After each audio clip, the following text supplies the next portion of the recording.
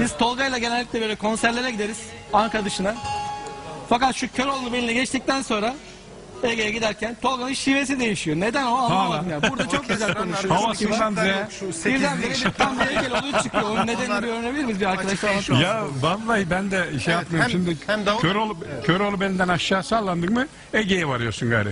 Oradan sonra. Yani daha önce de varıyorsun ama Dönüşte yukarı çıkarken bizim için tabii o davul, hem işte yukarı çıkıyor da sazlarına. Boru geçtik mi bir anda düzeliyor bir şey oluyor kendini geliyor. Okulda da bir anın vardı senin. Okulda. Evet, onu da Ana, daha sonra istersen. Biz tabii ilk ODTÜ'ye geldiğimiz sene eee, çok zorluk çektim ben. Yani bu şivenen gibi. Kimse bana demedi ki düzelt şiveyi o zamanlar bu kadar şey de değil. Bu şivenen geldim ben ODTÜ'ye. Ulan herkes gülüyordum bana. Sempatik buluyor. Hayır sıkıntı şu herkesin kız arkadaşı var benim yok. Çıkmıyorlardı kızlar benden şey diye. Köylü bu diye. Valla. Sırf o yüzden gittim ODTÜ oyuncularına kaydoldum. Ankara Sanat Tiyatrosu ODTÜ şiveyi değiştiriyorum.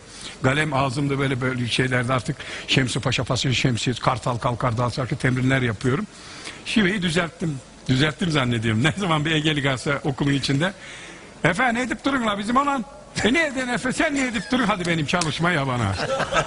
Egelilerle görüşmemeye karar verdik biz Ege'nin bahçesinde. Egeliler gördüm kaçıyor. Efe diyorlar git.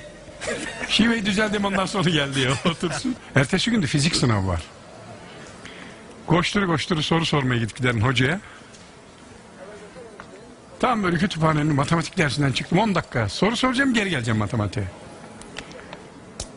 Milas'ta bir arkadaşı denk geldik. Petrol. Efendim nereye koş giden la bizim oğlan dedi.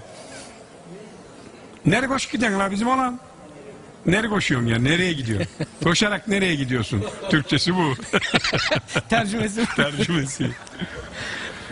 Ben unutmaymışım tabii. Ne bileyim şey değil şey. Hoca sor sormaya gidiklerim dedim ben. Hada o kadar çalışma benim yabana gitti mi? Ula dur iki beş bozalım dedi. İki beş bozalım hani iki laf edelim anlamında. Ula iki beş bozacak zaman mı var? Yarın imtihan var benim. Hocaya soru sormaya gidip giderim. Yarın imtihandan sonra gelen iki beş uzman bozalım dedim ben. Oğlu bekliyorum dedi gittik. Şimdi benim şive gitmiş farkında değilim. Dördüncü katta hocanın odası fizik hocası. Çıka çıka kapıda nefes nefeseyim abi bu arada koşuyorum ya. Tam da çıkıyormuş hoca ofis saati gidiyormuş kapıda yakaladım. Hoca, hoca orada bir tane soru var akşam uğraşmadım çözemedim benden diyor bakıyor bakayım demişim. Yani tercümesi şu. Hocam şurada bir tane soru var. Akşam uğraştım uğraştım çözemedim. Şuna bir bakıver bakayım. Anlamında. Bu, bu tam şey. Ama hepsi orada bir tane soru var. Akşam uğraşmadım uğraşmadım çözemedim. Ben dedim bir bakıver bakayım demişim.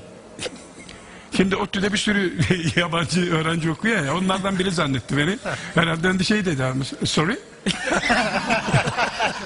bir yabancı dil konuşuluyor ama ne olduğunu anlayamadı. Sorry dedi. ama ben anlamıyorum durumu. Hala inatla. Hocam orada bir tane soru var.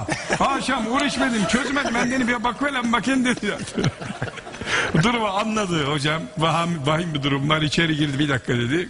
Kap masasına oturdu. Çek çekmecesinden bir tane saman kağıt koydu. Bir tane de kalem. Ne istiyorsan İngilizcesini yaz.